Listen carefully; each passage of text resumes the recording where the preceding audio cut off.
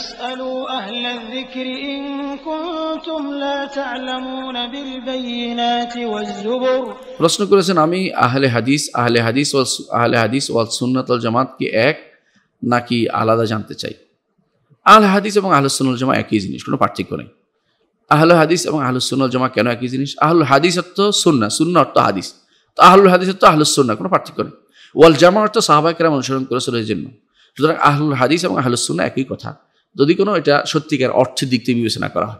আর শুধুমাত্র কেউ যদি নিজের নাম রেখে দেয়, আমার নাম আহলে হাদিস। এমন বহু মানুষ আছে যাদের নাম নিজের নামে নিজের নামে লিখে ফেলছে শেখুল ইসলাম। তো শেখুল ইসলাম হয়ে যাবে নাকি? কেউ না কে নিজের গোষ্ঠীর নাম দিয়েছে আহলুসুন আল জামা অথচ তারা বেদাতি। তাহলে এই নাম দিলেই হবে না।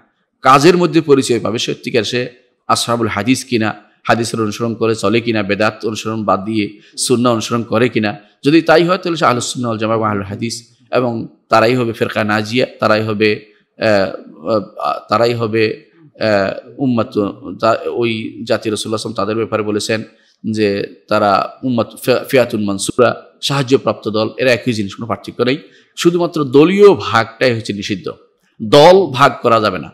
আপনার মানহাজি পরিচয় পাবে যে আপনি কি আসাব, আসাবুল হাদিস কিনা, হাদিসের অনুসারী কিনা, আপনি কি হাদিস হাদিস পাইলে দুনিয়ার সমস্ত কথা পরিত্যাগ করতে রাজি হন কিনা? এটার উপর নির্ভর করবে আপনি কি সত্যিকার অর্থে রসুল্লাহ সাল্লাম অনুসারী কিনা? রসুল বলেছেন, মা আনা আলী ওয়া সাহাবি যার উপর আমি আছি এবং সাহাবিরা আছে।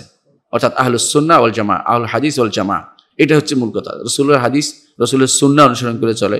রসুলের সাহাবিদের অনুসরণ করে চলে। তারা হচ্ছে আহুল হাদিস, তারা আসহাবুল হাদিস, তারা আহলুসুন্না ওল জামা এরা হতে পারে ফিকের জ্ঞানীও, এতে বাইরে যাবে না। যারা ফিক, ফকি, তারাও এর বাইরে যান না হয়। যারা ফিকের মশলা দেয় তারাও এর বাইরে নয়।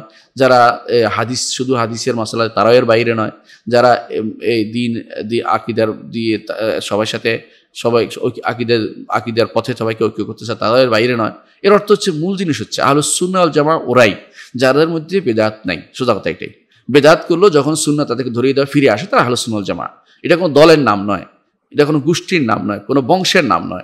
কোনো পরিবারের নাম নয়। এটা হচ্ছে, যুগ যুগ ধরে চলে আসা রসুল্লাহ সাল্লাহ আসলাম থেকে শুরু করে আজ পর্যন্ত যারাই যুগে যুগে যেখানে হোক, যেই দেশে হোক, যেখানে হোক যারা সুন্নাতকে অনুসরণ করে, সুন্নাতকে সবার উপরে প্রাধান্য দেয় এবং যারা সাহাবাহিক রামকে তাদের আদর্শ মনে করে এবং তাদের বুঝকে সব কিছুর উপরে স্থান দেয়, তারা হচ্ছে আহলুসুন্নাল জামা তারাই হচ্ছে আসহাবুল হাদিস, তারাই হচ্ছে ফিয়াতুল মনসুরা, সাহায্যপ্রাপ্ত দল, তারাই হচ্ছে তয়ফা মনসুরা, তারাই হচ্ছে নাজাত আল আল ফিরকাতুল নাজিয়া, নাজাতপ্রাপ্ত দল। এতে কোনো সন্দেহ নেই। কেউ কেউ মনে করে দেখলাম কেউ কেউ বড় ধরনের লেখাই লিখে ফেলল যে, আল্লাহর জান্নাত এত ছোট নয় যে আপনি এটাকে খাটো করে দিবেন। আমরাও বলছি, আল্লাহর জান্নাত ছোট নয়। আমরাও বলি, নিঃসন্দেহে আল্লাহর জান্নাত ছোট নয়। আল্লাহর জান্নাতে আমি বলি না যে তারা যাবে না, এটাও আমরা বলি না। আহলুসুল জামাতের বাইরে যে সমস্ত দলগুলো আছে, শিয়া, খারেজি অনুরূপভাবে যারা শিয়া মানে যাদের কাফের হয় নাই, খারেজি মানে যারা কাফের পর্যায়ে পৌঁছে নাই, অনুরূপভাবে যারা এই জাতীয় কালাম শাস্ত্রবিদ আছে এরা, আমরা বলি না যে এরা চিরস্থায়ী জাহান্নামিটা আমরা কখনো বলিনি। এরা, আমরা বলেছি যে রসুল্লাহ আসলামের সেই হাদিসের ওয়ারির ভিতরে পড়বে। যারা বলেছে রসুল্লাহ আসলাম যাদেরকে বলেছেন, একটি দল শুধুমাত্র নাজিয়া নাজাত প্রাপ্ত বাকিগুলি জাহান্নামে যাবে। এরা জাহান্নামে যাওয়ার হকদার হয়েছে তারপরে জাহান্নামে যাবে, এটাও আমরা বলছি না। আল্লাহ তালা তাদেরকে অন্য কারণে ক্ষমাও করে দিতে পারেন তাদের খেদমতের কারণে। কিন্তু তারা ফেরকাতুন নাজিয়ার অন্তর্ভুক্ত হতে পারেনি। আহলুসুল জামাতুল খুল্লাস, খাঁটি আহলুসুল জামাত অন্তর্ভুক্ত হতে হলে প্রত্যেকটি কাজে কোরআন এবং সুন্নাকে প্রাধান্য দিতে হবে, সাহাবায় কেরামকে আমার চোখের সামনে রাখতে হবে এবং তাবেইন আইম্মাদেরকে তাদের চোখের সামনে রাখতে হবে। ইমাম হানিফা, মালিক শাহি আহমদ ইবনে হাম্বল, এনাদের যে নীতি ছিল সেই নীতির বাইরে নিজেরা ভিন্ন একটা নীতি তাদের কথাকে অপব্যাখ্যা করে বানিয়ে জাহামিয়াদের পথ রচনা করবেন। আর বলবেন যে আল্লাহর দুনিয়া, আল্লাহর জানাত সবচেয়ে বড়। এটা তো তামান্নি। এই তামান্নি শরীরতে নিষিদ্ধ। এটা হচ্ছে তামান্নি। এই এমন আশা, দুরাশা এটার নাম। এটা আসল আশা নয়। হ্যাঁ আপনি সহি আকিদে আসুন, তারপর আল্লাহর জান্নাতের আশা করুন। আপনি বিশুদ্ধ আকিদে না থেকে বলেন যে আল্লাহর জান্নাত আপনি সবাইকে দিবেন। আমার তো আপত্তি নেই আল্লাহ জান্নাত, আপনি সবাইকে দিতেন শরীয়তে নিষেধ করে। আল্লাহ এবং তার রসুলদের নিষেধ করে দিতে সবাইকে দেওয়া যাবে না। রসুল যে বলেছেন আল্লাহ আল্লাহ খুল জান তাইলে নাফসু আর রসুল্লাহ সাল্লাহ বলেছেন যে, মুসলিম না হলে, মুমিন না হলে জানাতে প্রবেশ করতে পারবে না। মুসলিম, মুমিন কারা? যাদের মধ্যে কোনো রকমের এই জাতীয় অবস্থান নেই। যারা মুসলিম, মুমিন জান্নাতে যাবে এতে কোনো সন্দেহ নেই। ইমানদার হলেই জান্নাতে যাবে একসময়, যদি ইমান থাকে। সামান্য তো ইমান থাকলেও যার। তাকেও জান্নাত যাওয়ার সুযোগ আল্লাহ তালা দিবেন। বের করে আনবেন মুমিনদের সুপারিশে। বের করে আনবে রসুল্লাহ আসলামের সুপারিশে বের হয়ে আসবে। এমনকি আল্লাহ তালা তার তার নিজ হাতে দুই, তিন কুশ বের করে নিয়ে আসবেন জাহান্নাম থেকে। যারা আল্লাহ শুধু জানে যা ভালো কাজ করেছে, এরা সবাই ইমান আছে, এতে কোনো সন্দেহ নেই। ইমান থাকলে এক সময় এক সময় জান্নাত যাবে। গুণাগারকে চিরস্থায়ী জাহান্নামে আমরা মনে করি না। এটা শুধু খারিজদের কাজ।